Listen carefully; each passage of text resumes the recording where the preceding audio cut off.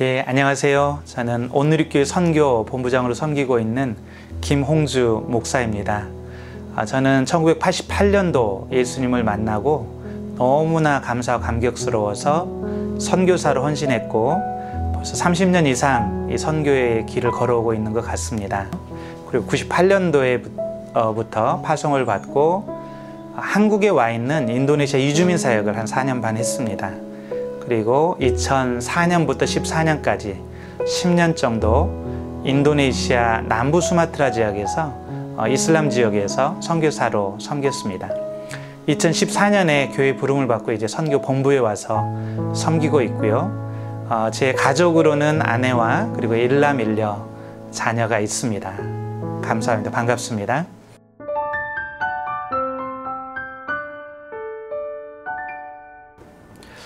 예, 제가 온누리교회에 오게 된 것은 우연히 오게 됐습니다. 어, 우연히 하용조 목사님을 2002년도에 만나게 됐고요. 목사님 부르셔서 온누리로 오게 됐고, 그리고 또 본부를 섬기게 된 것도 제가 원해서 섬기게 된 건 아니고요. 현장에 나가 선교사로 활동하고 있는데 교회에 부름을 받고 지금 6년째 본부 사역을 하고 있습니다. 어, 온누리교회는 선교의 비전을 가지고 세워진 교회이기 때문에 정말 아, 오늘교회가 모든 그 힘을 다해서 어, 담임 목사님부터 모든 장로님들, 성도님들이 선교를 지원하는 그런 교회입니다. 이런 교회에서 선교를 섬길 수 있다는 게 저에게는 큰 축복이고요. 그리고 이제 본부 사역을 하면서는 사실 현장에 있는 것보다 이렇게 생동감이 있고 아, 신나고 이런 건 아니지만 그러나 선교사님들을 뒤에서 도우면서 또 보람을 많이 느끼고 있습니다. 특별히 작년 같은 경우 중국에서 우리 선교사님들이 대거 철수했죠. 그때 저희가 좀 선제적으로 우리 선교사님들을 잘 도와서 다시 재배치될 수 있도록 도왔던 일들이 굉장히 보람이 있었고요.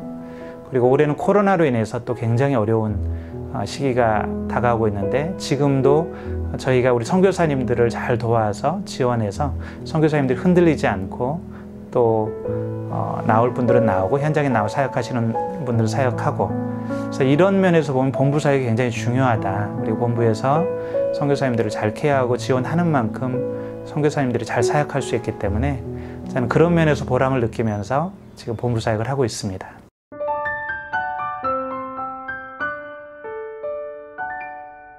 제가 6년 전에 이제 와서 본부를 섬기기 시작했는데요. 저희 오늘리교회에서 파송하거나 후원하고 있는 선교사님들이 약 900여 명이 됩니다.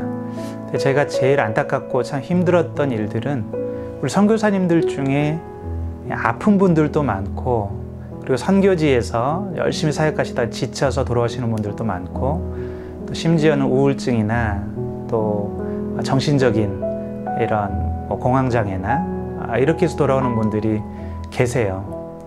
근데 사실은 좀 숫자가 많다 보니까 충분히 어, 케어를 못 해드리는 면도 좀 있고 그리고 어떤 경우는 좀 회복이 쉽게 되지 않더라고요. 그래서 우리 선교사님들에게 늘 미안한 마음이 있고 나름대로 선교사님들을 잘 돕고 섬기려고 애를 쓰지만 그러지 못할 때 굉장히 안타깝고요. 특별히 뭐 여러 가지 사건 사고도 있지만 또 이렇게 질병으로 돌아가시는 경우들도 많이 있거든요. 그럴 때 참 안타깝고 그래서 우리 선교사님들 케어 부분에 조금 더 신경을 썼어야 했는데 하는 후에 아쉬움들이 있습니다. 어, 여전히 어, 그런 부분에 아쉬움을 느끼고 잘 하려고 애를 쓰고 있는데요. 또 우리 선교사님들 보면 늘 응원해드리고 싶고 격려해드리고 싶고 또 우리가 더 잘 섬겨드리지 못하는 것에 대해서 죄송한 마음이 있고요. 또 한편으로 보람 또 즐거움이라고 할 수 있는 것은 우리 선교사님들 사역지를 아무래도 많이 돌아보게 됩니다. 정말 가서 보면 우리 선교사님들 한 분한 한 분이 얼마나 놀라운 사역들을 하고 있는지 너무 감사할 때가 많고 정말 출수할 것은 많은데 이미 희어져 출수하게 되었는데 일꾼이 부족하구나. 우리 예수님 그 탄식이 제 마음에 이렇게 와닿을 정도로 세계 곳곳에는 정말 우리가 조금만 손을 뻗으면 우리가 조금만 더 지원하면 누군가 가면 출소할 수 있는 영혼들이 너무 많은데 그런데 여전히 우리가 선교사님들을 너무 조금 보내고 있다. 어, 그리고 일꾼들이 너무 부족하다. 이런 안타까움을 느낄 때가 많습니다. 선교 현장 돌아다닐 때마다 제 마음이 굉장히 간절해져서 돌아오고 정말 더 열심히 하고 싶은 마음 이런 마음으로 돌아올 때가 많습니다.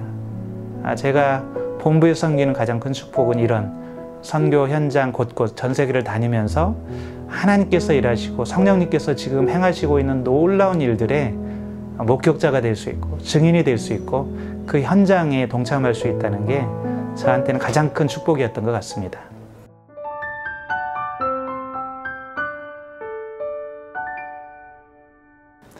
하나님은 지금도 열방 가운데 일하시고 계십니다. 하나님은 온 세계 가운데 영광 받기를 원하시고 선교하기 원하시죠. 그리고 이것을 위해서 교회를 세우신 것은 분명합니다.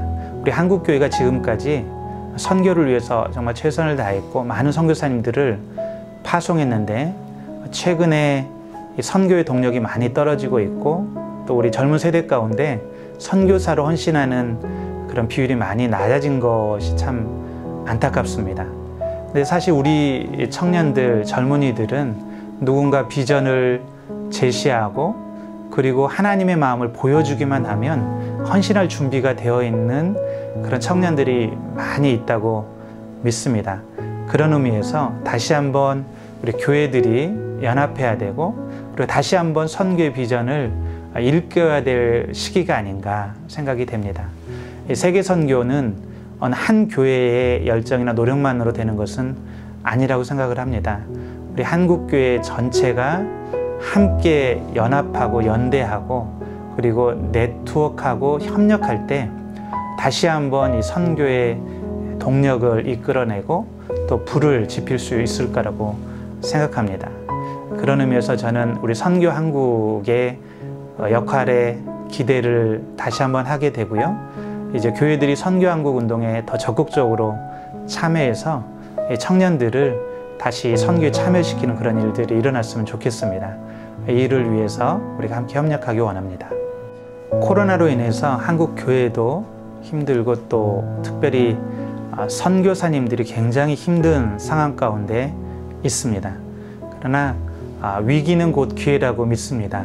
실시간으로 제가 난민 사역을 하거나 또 현장에서 사역을 하는 분들이 이번 코로나 때문에 이 온라인 비대면 사역들을 하게 되었고 오히려 더 효과적으로 사역하고 있다는 얘기를 듣습니다. 코로나에 위축되지 않고 오히려 한국 선교가 더 한 단계 발전하고 그리고 새로운 기회문들을 찾아가는 그런 시간으로 삼았으면 좋겠습니다.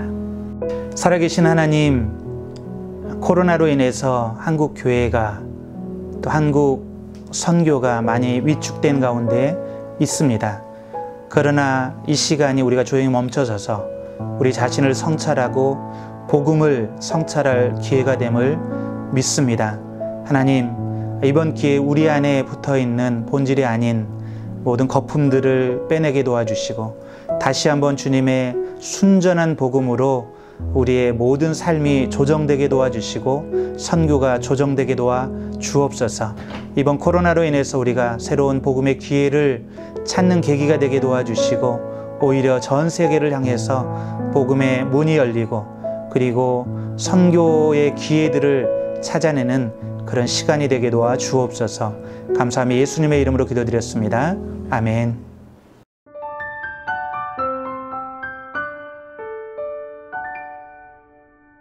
마지막으로 저는 사랑교회 백승준 목사님, 우리 사랑 목사님을 소개합니다. 이어받아 주세요.